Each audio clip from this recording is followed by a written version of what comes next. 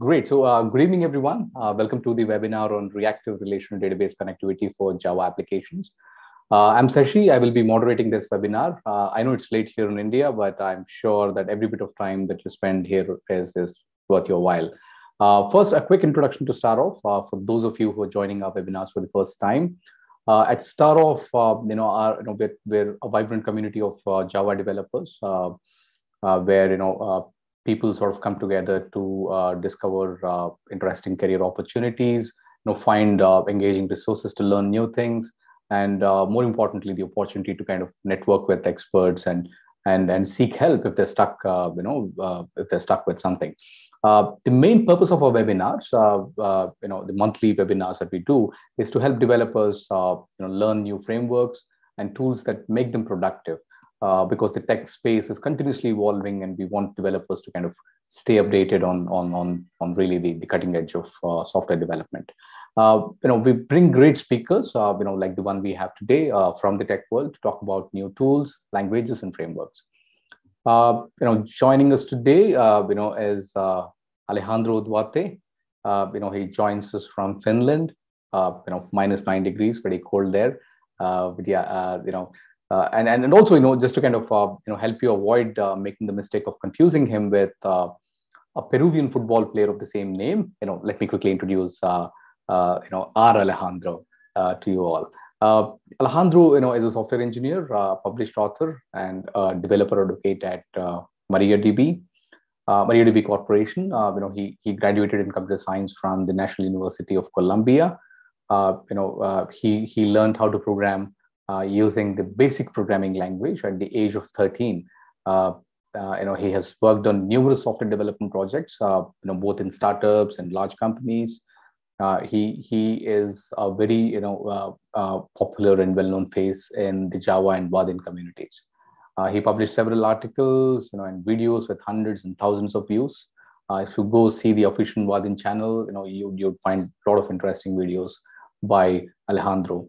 Uh, he also speaks at international Java conferences and Java user groups. Uh, you know, quick uh, you know recommendation. You know, he wrote two uh, you know great books. Uh, you know, Practical Vaadin, data-centric applications with Vaadin 8, and Vaadin 7 UI design by example, a beginner's guide. so both books you know are well reviewed. So you know do check them out if you're interested in learning Vaadin. his professional interests, you know, Alejandro's professional interest gravitate towards developer relations practices, uh, you know, open source uh, software projects, API adoption, online community growth, reusable software components, microservices, web applications, video game development, quite a, quite a bit more. Uh, uh, his favorite programming languages are Java and C++.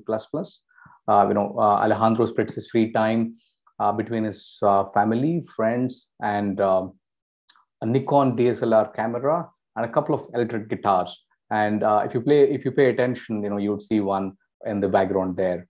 Uh, so, uh, and you can follow him on Twitter uh, at Alejandro underscore du. Uh, his Twitter handle is very popular. He keeps posting interesting links uh, uh, frequently. so, so do do follow his Twitter handle. so, you know, with, with Alejandro's introduction done, you know, let me quickly, you know, you know, pause for a minute. You know, thank him for taking the time out. Alejandro, you know, it's a pleasure, pleasure to great pleasure to have you on the webinar. Thank you, Saji. That, that was an amazing uh, introduction. Really appreciate it. Actually, you saved now some time in the first slide there. I was going to show the book, so that we have to go through that very quickly, which is good. right, right. And I'll just take another minute and then you know, quickly introduce the topic and get out of the way. Of course. Yeah. Uh, so, uh, I mean, you know, uh, anybody who uh, you know, was like been working in the Java world for a long time, uh, know that reactive programming is the hottest topic in the programmer land today. Uh, you know, every programmer wants to kind of jump into it and, and do it. And then, you know, one of the things that's not really solved, at least, you know, uh, as much as the other pieces have been solved, is the database connectivity. And, you know, uh, you know, R2DBC, you know, just the short form for reactive relational database connectivity, uh, is a way to consume, uh, you know, SQL, uh, SQL databases from Java applications. Uh, so it's a new specification currently in version 0.9 with ambitious goals for modern database access. Uh, several mainstream database vendors have embraced the specification. So in this talk, you know, uh, Alejandro is going to like, you know, explore the practical you know side of using you know something like the open source MariaDB and you know and you know and our favorite programming language Java to kind of see how you know R2 R2 DBC can be can be done and how it sort of you know improves the performance of applications and and makes for very very fast applications. So so uh, so that's the topic a very interesting topic. We have 50 minutes to cover it uh, you know and and and 10 minutes at the end for any questions you may have. So any questions that you have feel free to kind of you know uh, type them out in the chat. Uh, you know we will have alejandro uh, take a look at them and answer them for you but yeah so uh, you know with that you know i i'll get out of the way and let uh, alejandro begin the webinar over to you alejandro Thank you. Thank you very much. So let me uh, share my screen. Let's see if this works. Uh, uh, can you confirm if you can see my screen? Yes, we do. All right. So I have this uh, weird Zoom. I'm gonna put it over here. All right.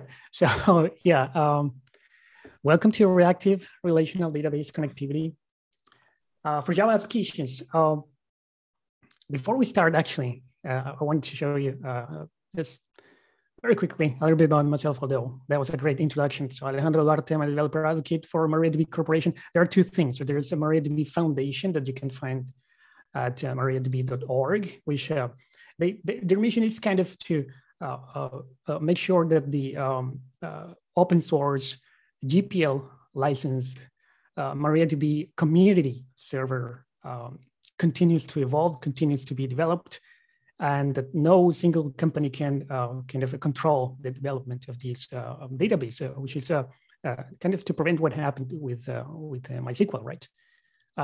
when when Oracle um, acquired um, Sun. So the other one it's MariaDB Corporation, and you find it at mariadb.com. And so MariaDB Corporation is is the I would say the main contributor to the MariaDB community server uh, but it has a bunch of really cool technologies. So, for example, there's the enterprise server. MariaDB Enterprise Server is kind of a production ready. It's tailored to production environments. So it's more secure. It's uh, faster. Uh, it's it's the way to go when you go to production. Really, uh, there's MariaDB Max Scale, which is a database proxy. So if you have many uh, uh, MariaDBs, right, servers, MaxScale is going to make it look like, like if it's only one and then your application just see, sees one kind of one instance in a way, but it directs the writes and reads and maybe analytic uh, queries to, to, the, to the best um, option there in, the, in this cluster. There is a MariaDB column store. So MariaDB has uh, um, the concept of engines and, and you can use multiple engines in one single database and you can have one table in one uh, using one engine and another using another engine. And in the same query, you can actually join those. It's pretty cool. So one of those is column store. There, there are many others. I'm just showing here one. Column store is for analytical purposes. Analytical in the sense of uh, maybe you need queries that kind of sum all the values in one column or maybe uh, calculate an average or any other function really. So column store is super fast. And the more data you have there, the faster uh, kind of, uh, or, or, or the bigger the, the, the, gain is in, in velocity and in performance. And there's MariaDB Xpand. It's also super cool because it enables something called distributed SQL. So you bring all the benefits from the NoSQL world now to the relational uh, world. And so, so you pretty much only need uh, something like MariaDB. Uh, you have relational data there. Uh, you have uh, all the all the advantages of having a schema plus now you can really uh, serve uh, millions of queries uh, per second.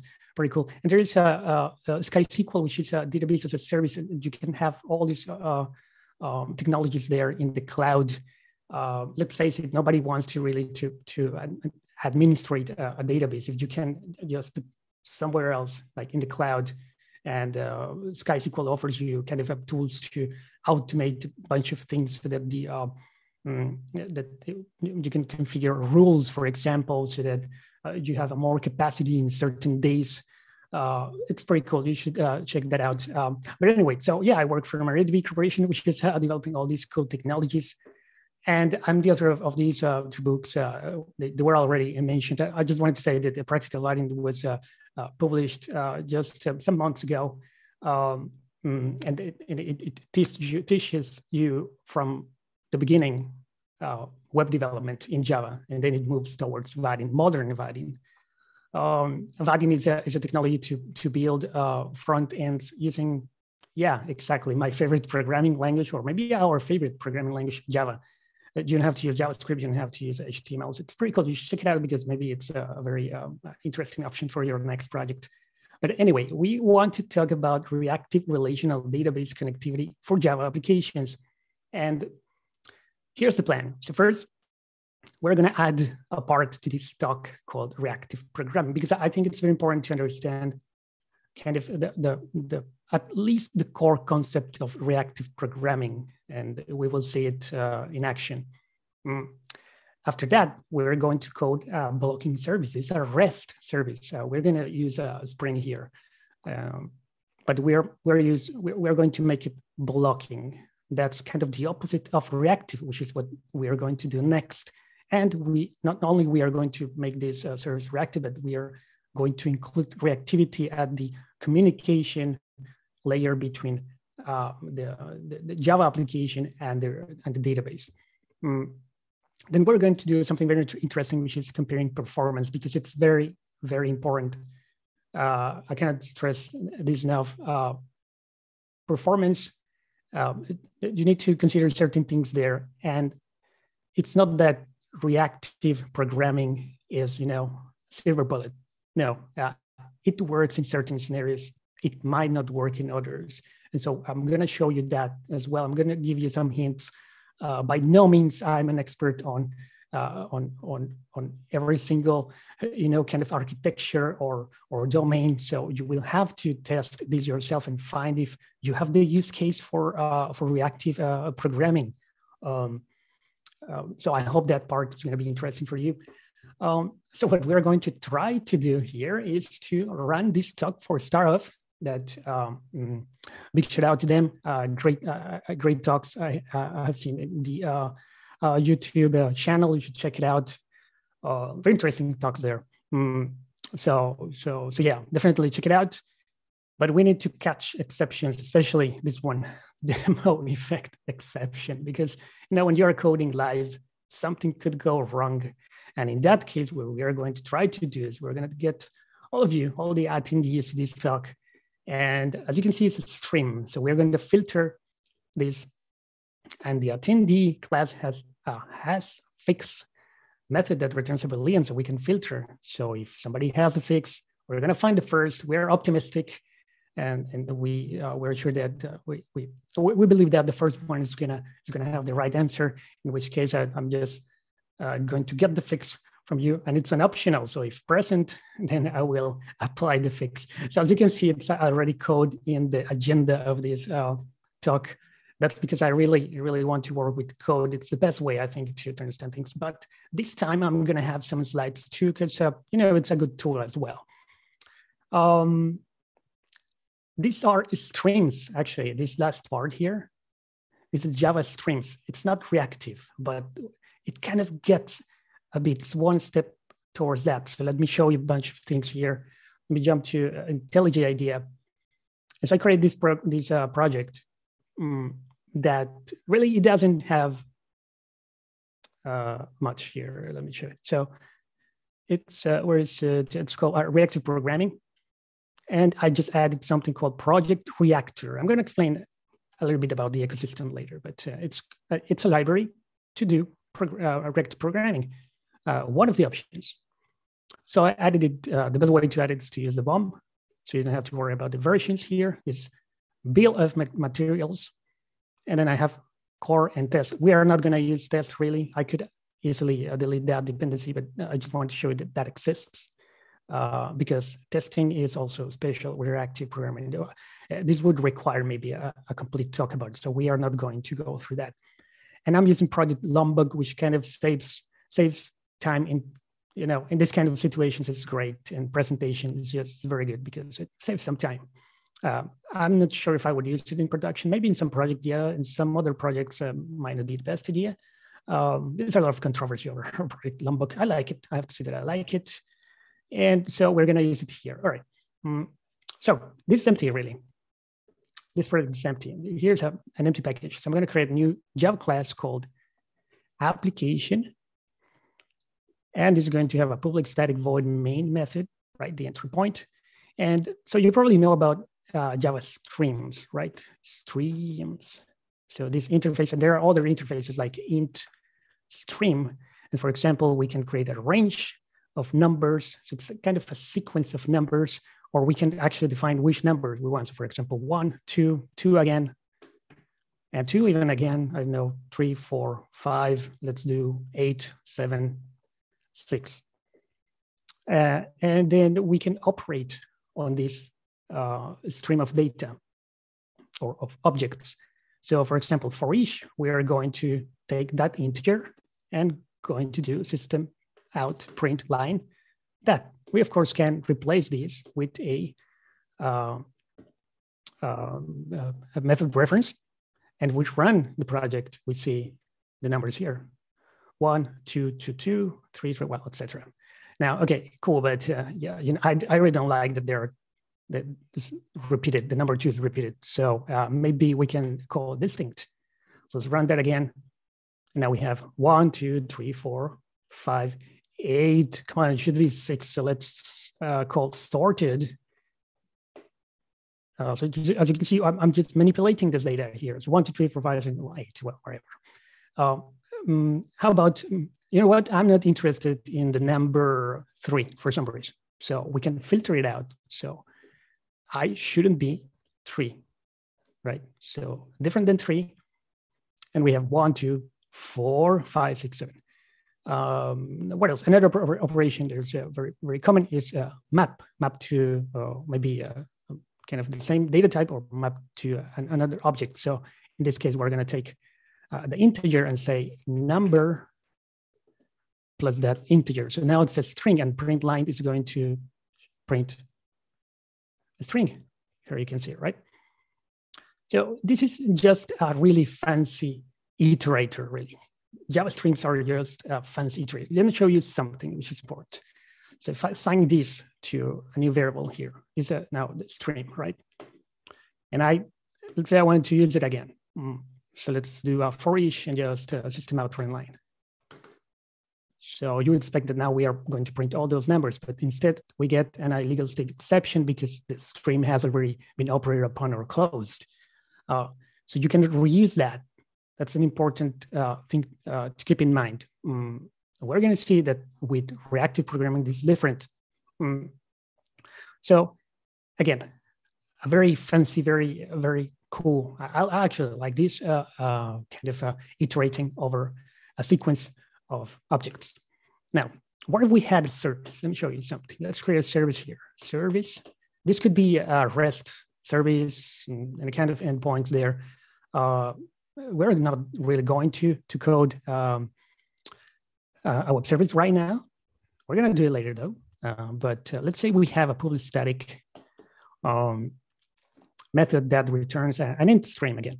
Int stream get number stream and we're going to return just an int stream. Um, and we can generate this. So this to be like infinite. And let me finish this line here like that. And for example, we can just return something like math.random.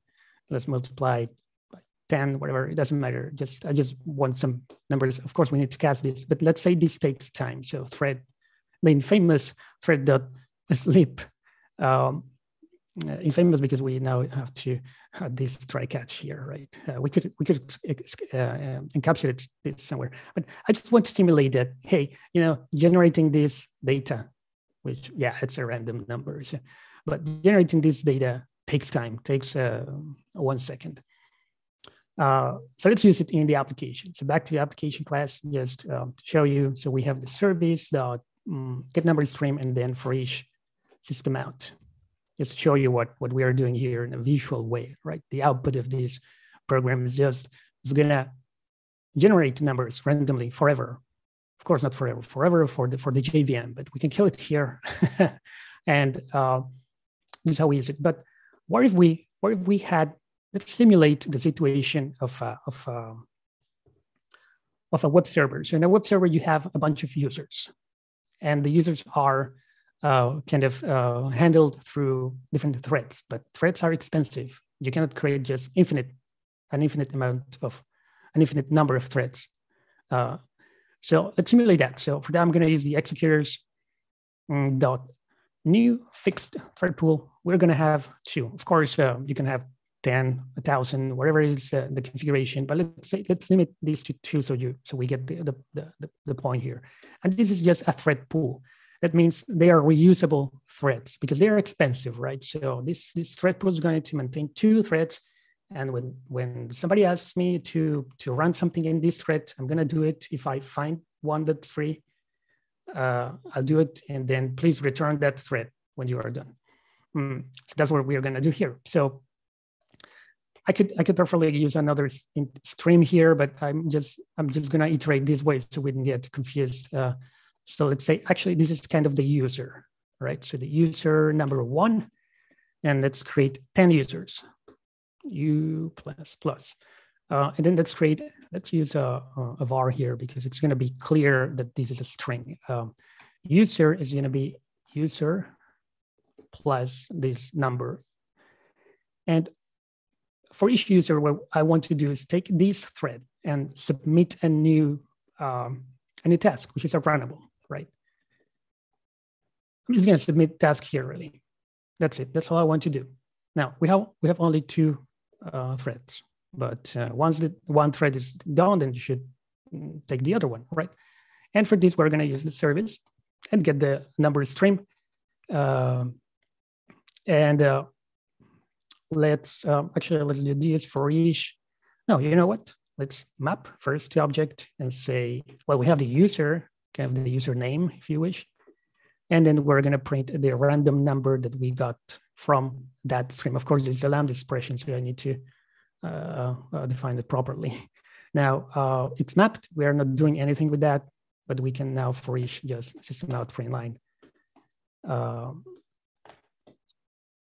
oops system out. Why is that? Well, I can type it, right?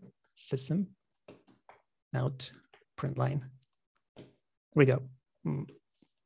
So we print that. Oh, oh it's because uh, it was filtered for ish.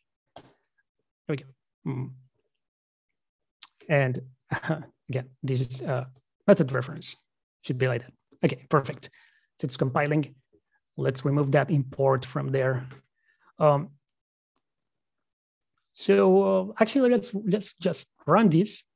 We kind of expect seeing like 10 users receiving random numbers every second, but let's see what actually happens. As you can see, only user one and two are receiving their random numbers here. So um, what is going on here? Uh, let's have a look at the at the at the code. And understand. So okay, we're iterating here then we take one of these threads, or we submit, sorry, we submit one task to one of these two threads. So the thread pool takes one, and that's user one, maybe. So it says, okay, sure, I have a thread free. Nobody's using threads right now, so run it. And it goes through this thing. But this for each, or this line is gonna be there forever. It's blocking right? It's blocking this thread. This is a different thread, and we have uh, another one, the main thread here, and this is now a different thread. Then it iterates again, number two, submit a new task. Sure, I'd still have another one because I have two. So I start that, it's running, it's creating all these numbers, it's or running all these uh, logic here. Then iterates again, submit, and the thread pool goes, all right, well, I don't have any more of that, so sure, I'll take these, but uh, you'll have to wait. I mean, uh, I cannot run it because I don't have any threads at all. And it never gets, so it, it completes this for loop, but it never gets a free thread because we are blocking. So that's that's the point here. Let me kill this machine here. Uh, that's what's going on here. So what if we use, and there, there are ways, of course, to fix this, right? the easiest would be just have a bunch of uh, uh, threads there, but that's gonna uh, consume memory and maybe it's not efficient. Or we can do we could do something about these to kind of not not block, but it will require you can imagine coding some more stuff. So with reactive programming, uh, we can make a different version of this method. So let's do that. Static. And instead of returning an int stream, we're going to return something called flux. This is from project reactor. Here we go, reactor. And it's a flux of integers.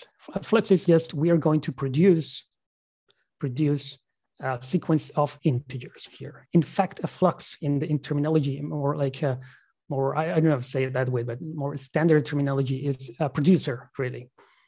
Uh, I'll show you something more about this. Just uh, bear with me for, for now, and let's create this method, get uh, number flux.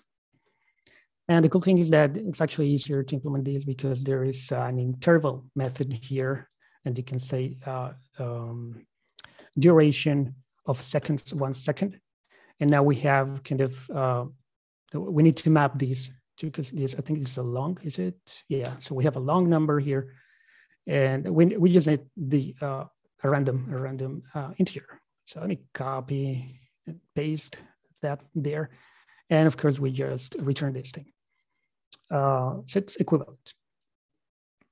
Back to the, back to the, where is the application? Here, back to the application, this one, right? So what if instead of using get number stream, which is blocking, get number flux? So, okay, but here's uh, the good thing that it, it's, if you already know Java streams, it's it kind of the, the, the, way you configure a flux is, is the same. So instead of uh, map to object, we use, use map. And instead for each, for each, this is very important, you sus subscribe to this producer or this flux right? They're kind of synonymous uh, for now, uh, Flux and, and a producer. And what this does is uh, it's going to execute this at some point in the future, not, not right now, at some point later. But this thread's going to have the chance to uh, kind of finish and return the thread to the pool. And we can see it in action actually. So now we see users, one, two, three, four, five, all the 10 users are getting their random numbers from the, from the service because we are not blocking. So again, we go through this for loop, user one, submit the task. This gets executed. It doesn't wait here. It goes there, gets executed. It doesn't wait there. It's just then, then later uh, uh, project reactor calling this part here. So this is just an example it's not really a true comparison. What why is this better than the other? It's just to to to show you the nature of re, of uh, re, reactive programming. That's that's the whole intention of this piece of code. So it's not blocking threads, and it's very important to not block pretty much any call that that is gonna uh, take time. That's that's the premise of uh, reactive the reactive programming paradigm. So let me get back to these slides to show you something. So there's something called the reactive manifesto, which uh, lays out all the uh, uh, reactive programming paradigm. So you should check it if you haven't. It's not a new thing. It's actually reactive programming is pretty old now. Uh, sign the manifesto. Uh, there's something called the Reactive Foundation, which serves as a catalyst of all things reactive. It doesn't matter the programming language, just uh, this foundation uh, kind of uh, uh, serves that function. And there's the Reactive X, mm, API, but API here is not as, as an interface. So application programming interface, that interface is not in the Java sense where you have a, um, a um, let me check here the chat real quick. Um, um, oh, where was I? An interface in the Java sense that you have uh, just what the interface does, but it's not implemented, right? No, this is actually implementation, and implementation of of uh, asynchronous programming with observable streams. Mm. In fact, there are many. As you can see, there, it says choose your platform. That means there are several programming languages. So you get it for Python, C Sharp, PHP, um, Kotlin, um, many others. And of course, of course, it has to be Java right there. So uh, the, the, the Java part, it's called um, RX Java, right? So remember reactive X. So this is reactive X Java. Uh, this is something you can use. It's to use. It's not interfaces. It's used, and it's based on something called well, it's an implementation for reactive extensions. I, I, should have mentioned that this is like kind of, you can read as extension. Um, so RxJava, it's an implementation of this. We could have used that in the previous demo, but I was using Project Reactor, which is another implementation of uh, not, not um, uh, Reactive X, but it includes actually all the operators that you find in ReactiveX. Um, but it's, a, it's another uh, implementation of, uh, of uh, kind of uh, the observable pattern. It, they just use different kind of names for the classes, but semantically is the same. They serve the same function and it's based on something called reactive streams. So you can see it's a lot of things here, but I hope it's, it's again some clarity. Uh, reactive stream is something in Java. So this this is just these are just interfaces really, no implementation at all, just Java interfaces. And in fact, there is not that many. But then Java, the JDK 9 also has the same in the uh, concurrent.flow class. It's a class, and inside that class, there are interfaces. They just copied them from here, kind of aiming at, well, you don't need to include anything from outside because reactive is, is, getting, it's getting traction. This uh, many years ago, of course, uh, JDK9. Uh, however, you know, there are uh, still a lot of people using Java 8. And, um, and so uh, projects like, uh, say, Jakarta, well, you cannot use anything outside the JVM or inside these, these projects. Um, so they, they added these, but they added in JDK 9. So we're, about JDK 8. So projects such as uh, uh, Jakarta uh, microprofile, for example, I know they are working on, on the reactive uh, stuff as well. And they, they made an exception. They are actually using uh, reactive streams as an kind of an interim, right? But later at some point with adoption of, of JDK 9 and plus, and hopefully not, not 9, but uh, 17 today, mm, mm, gets um, you know when, when java 8 it's a thing of the past maybe everybody's going to move towards this implementation so you need to to, to import anything really uh, in the in the pom.xml file for example. Uh, so reactive streams i said those are interfaces and there are only four. I'm showing here three but there are actually four. Um, there is another one uh, uh called the processor but it doesn't matter. So we have a publisher we use one already kind of. It's not in the not in the in the or object oriented It's not in the object oriented sense sense um, uh, uh, uh, this actually let me show you the where is it?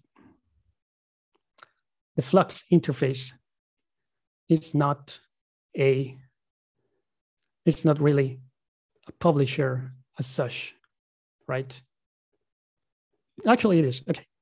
Yes sir it is it is a publisher but from reactive streams. Oh, well, actually, I'm, I'm, I'm showing you reactive streams. Uh, so it's the same, but it has it has more more stuff there, right? Because it's implementation, it can add methods. Now there's a subscriber too. So a publisher is just a thing that creates a sequence of elements, and a publisher, uh, sorry, a subscriber subscribes to a publisher so that, for example, when there's a new element, I can do something. So I just need to implement this part. Or if there's an error, I can implement this. It's very nice error handling here, by the way. We're not going to see this in, in, this presentation. And the very important concept is that of uh, the one you see inside the subscription, which is kind of a one-to-one relationship here. Uh, it has the request long n. So give me n elements, and that's called back pressure. It's very, very important, very powerful because it kind of it's a mixture of pull and push techniques here. Uh, we're not going to go that deep here in this presentation, um, but it's important that you, you have a look at that. And there is also um, the um, there's also the uh, processor, which is a uh, it's not here, but it's a publisher and it's a subscriber at the same time, so it can manipulate data. Mm. How about R2DBC? What is that? So uh, we've seen a lot of reactive things, and now it's another one, reactive relational database connectivity. That's what it is. So it's relational, uh, reactive relational database connectivity. So it brings the uh, reactive programming um, paradigm to actually the layer between the Java application and the uh, database why is that needed? Well, JDBC has some limitations, and, and I'm not saying this like uh, uh, it's a, it's it's not good or anything. And most uh, applications use it successfully, and actually, uh, it, it could be a, a, better option in many cases. So again, reactive is not in is not the solution. You need to have the use case. Sometimes you don't have the use case, and JDBC is just going to be better, not only because it's simpler and you uh, it's uh, you don't have to think about events going from one place to another and all these things. It, it makes debugging really really hard. Uh, but when you have the case, it could it could be that a reactive application is there. So what I have here is a reactive application. That's good. Let's say it's good because we have the use case, but we have the JDBC API. Maybe you're using JPA or Jooq or any other uh, library, but you, eventually you are using JDBC under the hood through a blocking driver. So when you have something blocking, it doesn't make sense to have a reactive system. It's, it's no longer a reactive system as such. So you have from the, if it's a web application, from the um, web browser the request to the server, that communication should be non-blocking. Then from the server, when you when you uh, query, for example, a database, that should be also non-blocking, but JDBC doesn't allow you to do that. Uh, the solution is to use something else, and that's called R2DBC. And with that, you can become, or your application is fully reactive. So there is no blocking in this kind of uh, all these requests and responses over there. Um, and, and, the way it works is just through a service uh, provider API, which is a standard thing in Java to kind of discover classes at runtime. And so uh, you uh, you can discover a driver, right? Or well, the application um, R2DBC discovers a driver and uses uses that driver to communicate with the database. So it's replacing JDBC really, right? It's just that now it's reactive. Um, all major databases implement R2DBC drivers, which is very cool. Of course, MariaDB implements that as well. In fact, uh, uh, my friend Rob, he wrote a book about it. He works also for MariaDB Corporation. Really, really, really good book about R2DBC. It's that book if you want to learn this. Uh, I highly recommend it. It has a really nice introduction also to reactive programming. You should check it out. And back to service provider interfaces. So we have kind of the elements that, that you will end up using when you're using R2DBC. There are many, but uh, I want to focus on these, these ones. So the connection factory, and this should look kind of familiar if you have used JDBC. Connection factory creates a connection, obviously. And from that connection, you can get a statement to run a query from which you can get a result that has rows. It's kind of the relationship here. So let me show you some of these more like in, inside what is going on. So the interface uh, called a connection factory, for example. So you see there that there is a create method, but it doesn't return a connection. It returns a publisher, and a publisher is an interface from reactive streams, right? So this is when you create the connection, you don't get the connection right away. You will get it in the future. You can it's like okay create please create uh, a connection. Sure here is a publisher. So subscribe to that that publisher if you want to get that connection. That's what's happening here. Uh, so once you have uh, well, that connection you can run a bunch of operations that you should be familiar with if you have been working with JDBC or, or databases in general. You can begin a transaction you can commit a transaction. You can create a statement with, a, with some uh, sql or sql a query here. Mm, you can close the connection as well and then there are many other methods there. Um, and for that, when once you create the uh, um, the statement you receive, uh, I'm just uh, I'm going back to the previous slide. Now. Next slide.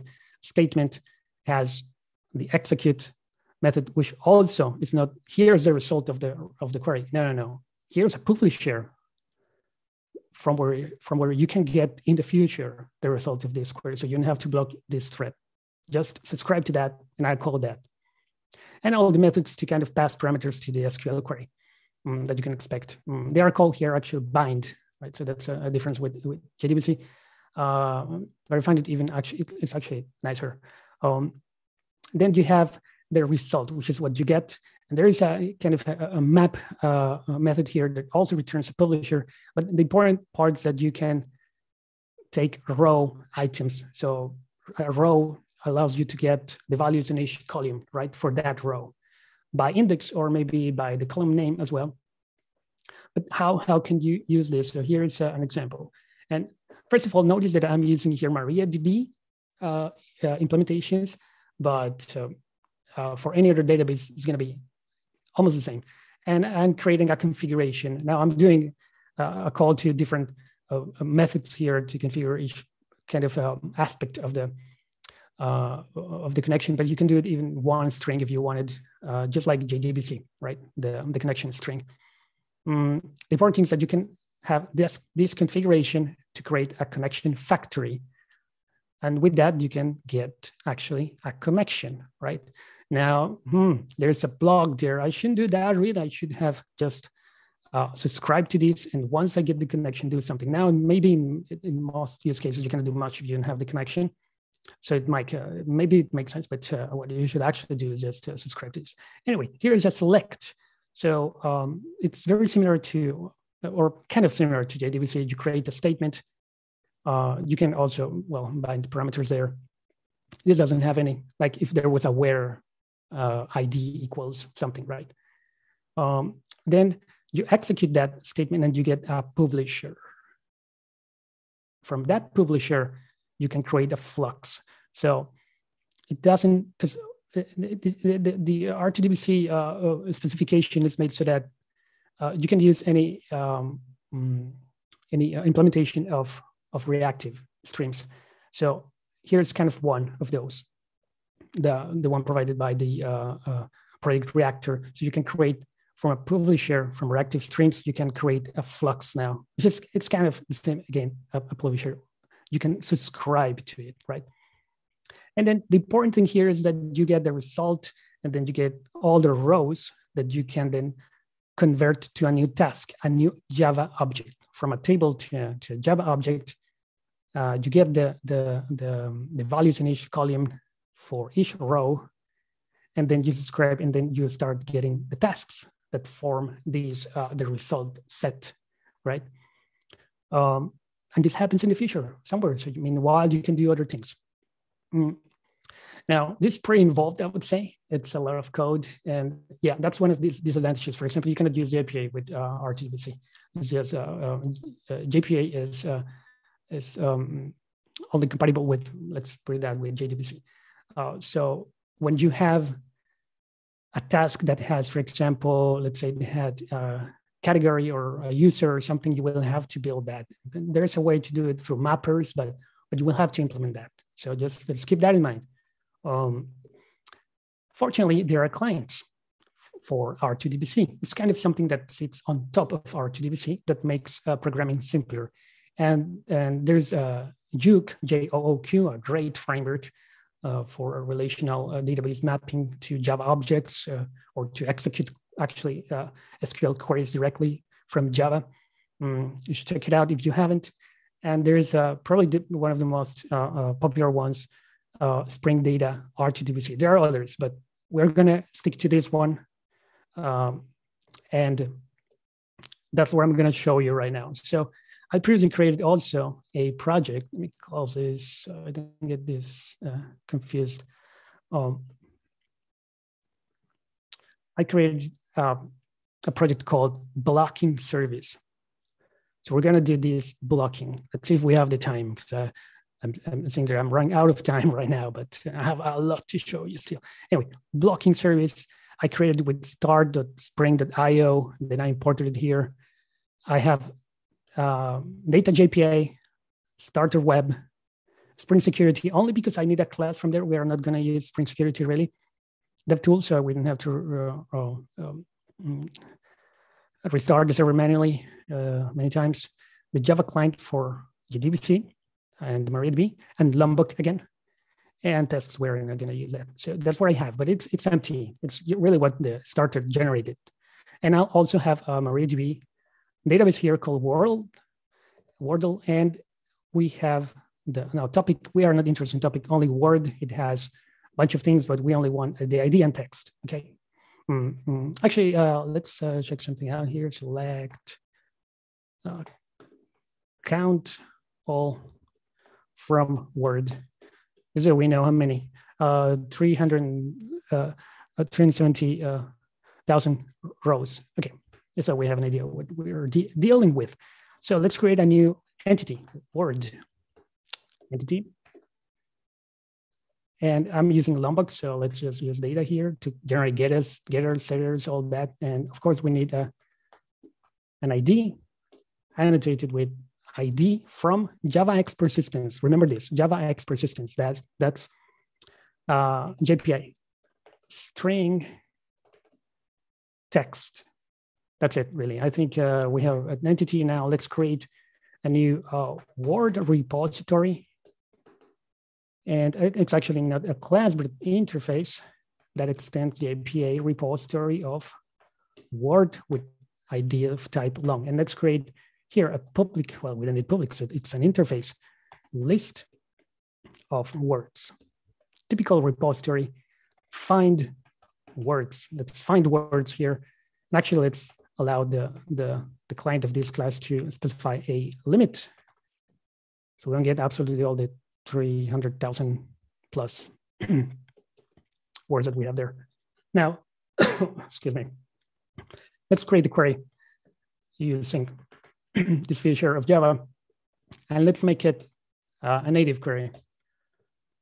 And let's select, uh, I think it was ID and text from Word, order by rand.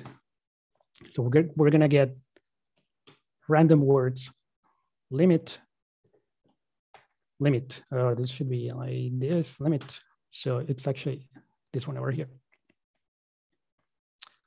Right, mm, or is this red? What's going on here? Let's see. Oh, it's four of them. Here we go. Now IntelliJ IDEA allows me to run this here. It's pretty cool. That this is not the free edition though. This uh, ultimate or whatever it's called. Uh, so we have, I apologize if they are going to appear, if they if, if, if bad words appear here, you have been warned. It's random, really random words, right? I downloaded this database from somewhere. Very good. So we have the repository ready. Obviously, we need a word service and it's going to be a REST controller. Request mapping slash. Of course, you should do something like API and versioning, but uh, this demo, that's fine. Uh, public, public, if I can type that, public um, list of Word. It's almost like a, like a wrapper, right? Word uh, find uh, find words. It's called the same, doesn't matter, int limit. and this is gonna be a request mapping called slash words. And it's gonna be a param, request param. And uh, we just, we need the repository, private final word repository, word repository, and since we are using Lombok, we can say a required args constructor. So this just adds automatically this constructor over here with repository. Anyway, um, let's return what the repository returns first, limit, right? But this is rarely the case. And this is where I have found that maybe reactive programming is more useful, in, at least in my experiments. So you rarely just query database and do nothing else you, sometimes you have to do something with that data or something else, right? So it simulate that. And that's where I brought Spring Security actually. What we're gonna do is, uh, how can we do this? We're gonna map this. Well, we need a stream. it's a collection. So we need a stream. And then we're gonna map each word on something called maybe a field data. And we pass the word. Let's implement these, uh, well, we need to also, we need to collect these as a list. So we return that. We could also return a stream, but let's, let's do it this way. Now let's implement this. This is a word, and that's also a word. And I could use thread.sleep, but I feel like it's not, it's, it's not real. It doesn't feel real. So instead of that, I thought, what kind of uh, um, uh, operation can I emulate? And so I can use a password encoder that takes time to run. And this one is one of those. That's the reason it's so it's so secure because it takes time to to encode something. So I'll take the encoder and encode the word dot get text, for example. And so this is the in, encoded version. And now we take the word and set, we need maybe another field for this. private string data, but we are not gonna persist this. So transient from Java persistence dot set data encoded. So now we are simulating some actual work, right? Mm, that's gonna take time. We can change this with a method reference. And I guess, I guess I missed something, the database connection, right? We have it here. So let's do that. Uh, first, actually, let me configure the server port to 8080 just to, because we're gonna create an, another one if we have the time. I hope we can make it. Um, data source, uh, URL JDBC, uh, MariaDB slash slash localhost 3306 slash Wordle. Uh, we need the data source. Username is user. Data source password is actually very secure. data source. What is doing it? You know what? Hikari. So this uh, uh, uh, connection pool, Hikari. But I want to configure maybe maximum pool size. Let's say it's 10 and and and and connection timeout uh, 10 seconds. I think that's how you configure it. I hope that's correct. Let's try to run this real quick and hope I didn't make any mistakes. Uh, I know what's going to happen. It's not going to work because it's um, here. Mm, because localhost, well, if you go there, it's going to show this. Spring Security shows this, so we need to disable that. Well, maybe you learned something here. Uh, I don't know. So it's something called exclusions. Exclude, uh, we need to security, security auto configuration. We don't want that. Just do that again. And now we can just words limit, let's query 10, 10 words. And there you go. So it was kind of fast, but not super fast. So it takes takes time, as you can see. So click, done, right? Uh, if we if we query, for example, 100, then it's going to take more time. There we go. It's processing, right? It's processing, and and and come on, give me those 100 words. There we go. So we have, and it is a, a JSON array with all the objects here, right? The words, and this is the, the calculated stuff. Right? It doesn't mean anything, but it's encrypted, encrypted version of the of the text. Very good. Mm, that's fine. So that is a blocking, a blocking service. There's nothing wrong about it, but let's let's do a uh, where is it reactive? Is it this one? Reactive programming version? No, it's not reactive programming. It's it's reactive service. There we go. So this again, uh, Spring Initializer, and instead of JDBC, I'm using data R2DBC security and web flux instead of web. And because I'm on a Mac, so I need to use uh, uh, I need to add this one, maybe all. I think maybe in, on Windows and Linux machines, maybe you don't need that one. You will have to try it. And then we have the R2DBC MariaDB driver, not the JDBC driver. We also have Lombok, etc. So reactive service actually have it here. Okay, maybe maybe that's a good thing. Maybe that's a good thing. Uh, so I'm sure I'm going to show you. It's the same. I actually copy pasted these, but I just changed. I removed the entity and I use well data. I left data it's not a data, it's not an entity anymore. And then there's ID from org Spring Framework data annotation. This is not an entity. And look, we don't need the transient annotation here. It's not an entity. Word repository is the same, except it's a R2DBC repository of word ID long. The same query. The only difference, it returns a flux now. So it's not gonna block. So you see how it's much easier than that R2DBC code that I showed you before. It's, it's just super simple. Here it is. That's it. Now you have a reactive uh, connection to the database. That's super cool. The word service is the same, except again, it returns a flux. And because we are returning a flux, now we can return another media type. It's this is a different, right? Different, just in case. I if I mentioned it. This is a different project. It's not the blocking service. No, it's the reactive service.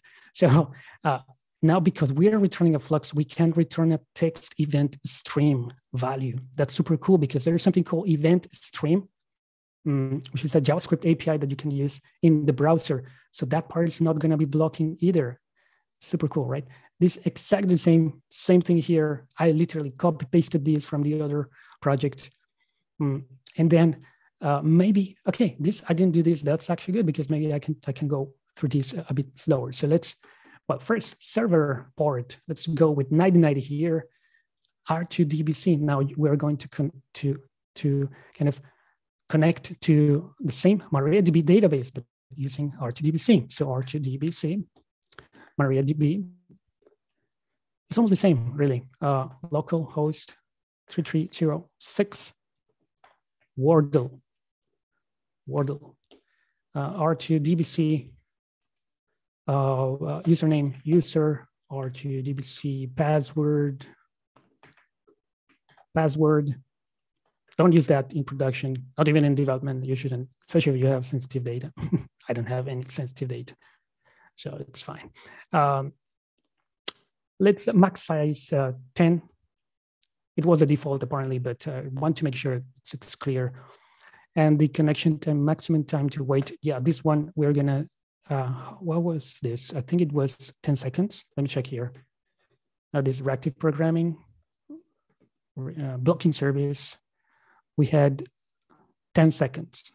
Okay, back to the reactive service. I think you have to do this. Let me check. I have some notes here because I, I always forget that 10 seconds. Yeah, okay. So that's that's the correct notation. Mm.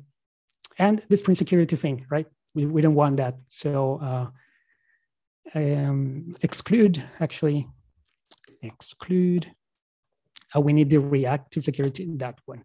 Very good. So we don't show this, this thing. Just I'm doing the same, just translating now to, to reactive, but the important part is the flux, really. That's important part. Let's run this, fingers crossed. Let's see if it runs. It started, let me go to the browser where it said here, let's open a new one, 9090, and let's query, I have one with 100. So check, check this out. I'm gonna hit enter, and then some data is gonna come in, but not all of it. Look, if it works, hopefully it works. There we go. I'm scrolling down, and you see, you see things coming that's pretty cool. So that's the advantage. We are not blocking. We can do more stuff now. Um, that was amazing. Let me go to the presentation. Where do I have the presentation? Here. See if I can go through this very quickly. JDBC versus R2DBC. There's a lot of talk there. Uh, Brian Goetz, he said, I think Project Loom is going to kill reactive programming. And that's because Project Loom is going to be uh, uh, kind of a, a, way to create uh, fibers, I think it's called, which is much cheaper than threads. Threads consume operating system resources. They are expensive. He says that. So you should check this out also. Mm, Gaetano Piazzolla, he wrote this amazing piece on an epic tale comparing JDBC and R2DBC in a real world scenario. And yeah, it's just one real world scenario. Maybe there are many, so that's the only critique I would I would uh, give to this. But it's an amazing piece. You should read uh, go through it and maybe try his code, he found this that this only that well this result that R2DBC is better in this peculiar and very specific case. So he found one case where it was uh, actually better. Mm. But there are, there's the other kind of results. So uh, Martin uh, Smeets he he wrote also an amazing piece uh, where he found different things.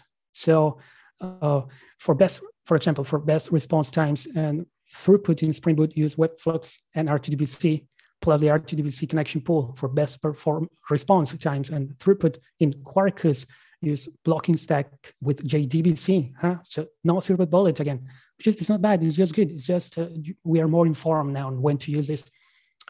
The way I like to explain reactive programming, and, and, and this is important when you are going to compare, is that let's say, let's make a, an analogy here. Let's say you have an appointment somewhere, you arrive there to this building, and there is a secretary there sitting by the, this desk, and they, they tell you, please wait. That's the traditional or imperative way, right? That's what we do uh, normally. uh,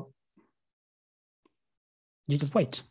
But if they tell you, hey, I'll call you back, then you can say, I'll go do something else. That's the difference. So this is their reactive way. Now, in the end, you do more things, you have the opportunity at least to do more things, only if you have that use case. Sometimes you really cannot do anything else. So what's the point? It's the same. It could be even worse direct way because it adds stuff. It adds stuff. In the end, the service time is is the same, right? When you meet this person, it's gonna be the same.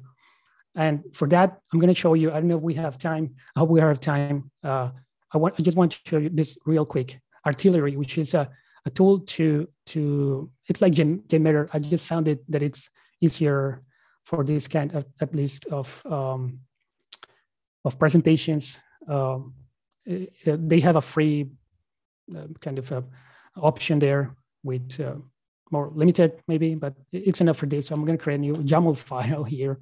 Uh, artillery. Uh, it could be any name, name really. YAML. There we go. Oh, it's already there. Well, that's good. That's good. We save one step. It's already here. So here is. I was just going to actually paste this stuff. And so this is the reactive. So let's go with 9090. Let me check if I have it here. Maybe I don't have it. Uh, artillery. Okay. And this is uh, 8080. So, okay. Blocking service, we have this file that says, hey, we're going to request a localhost 8080. That's this app. And just one second, that's it. But in that second, we are going to send 100 requests per second. It's one second, so it's going to be only one, uh, 100. And timeout, we can wait up to 20, which is a lot actually to consider to, to wait for the response. And we're to just uh, add this to this uh, target, right? Just the words 100. Now, how, how do we run this? I have it here actually, but I'm to show you. Artillery run, and then you pass the name of the file. Um, and now it's uh, it's kind of uh, uh, load testing this application, the blocking service. So let's see what are the results. Uh, uh, I haven't checked as I'm streaming. Streaming consumes some more power from the machine, uh, but maybe we we see. Well, we'll find out. Whatever we find out, we find out. So HTTP code 200, which is OK nine. So nine were went through perfectly. How about this one? So artillery run the file uh, again, one second, just stressing the system with 100 in one second and see what, what the reactive service can do. Let's see if it's better or not. Uh, uh, I, I tested before, it was better. Mm, but if you play with the variables there, with all these times, things change really. And I encourage you, uh, encourage you to, to, to try it out. 19. So there we go, 19. The other one was nine, nine OK codes versus 19 codes. So throughput was better in this case for React service. You can change all, all these and you'll find different things. Maybe you only query, maybe you have only one. Things could change really, and you might not notice any difference at all. So uh, let me check the time, uh, 6.04 here in Finland thank you for attending this presentation. I hope you, you, you found something informative here. Uh, you can contact me through email, through uh, Twitter. I only tweet about really a programming stuff there if you're interested. There is a bunch of uh, code on, on my GitHub as well where I'm going to uh, publish this code later after this talk. And uh, yeah, thank you again. I hope you enjoyed it.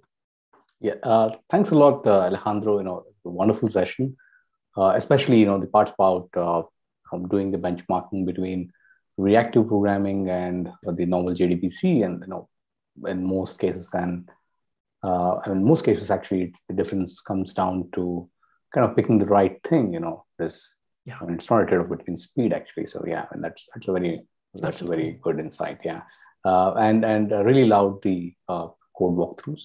Uh, so I've got like a lot of questions, but I'll just like pick one uh, you know, firstly, you know, uh, there's some appreciation. Uh, you know, there's one person who says that you know your your tutorials on Vaadin, you know, he's gone through them on YouTube, so he has oh. some kind words to say about that. Uh, and and really like this session too, the agenda and everything. Yeah. Uh, so uh, you know, nice. that the question that I want to ask is, you know, in in projects where uh, that are not really built on this whole principle of reactive programming, can we still use re- reactive relational database connectivity in some parts? So can we do that? We can. Uh, we can definitely. We can. I mean, uh, it's not that we cannot, not at the technical level.